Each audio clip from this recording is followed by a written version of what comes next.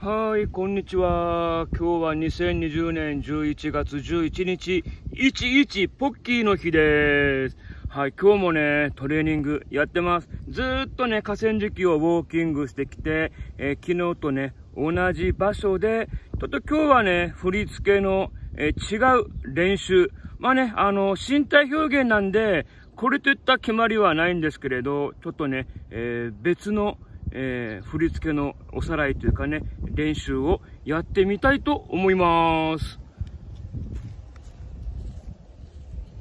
ここでいいのかなこの付近かな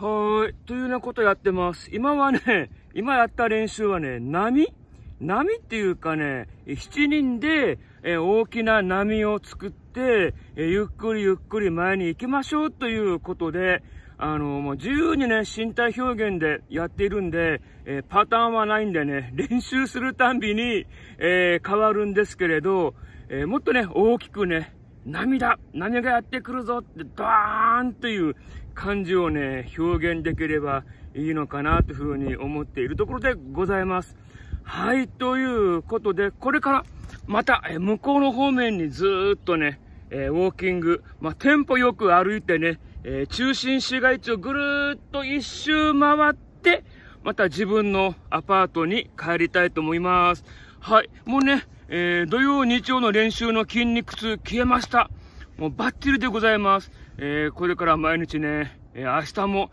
天気良ければ、ウォーキングとね、え振り付けのおさらいをやっていきたいと思います。はい、えーこれからまたウォーキング頑張ってやっていきます。はい、ポチッとな。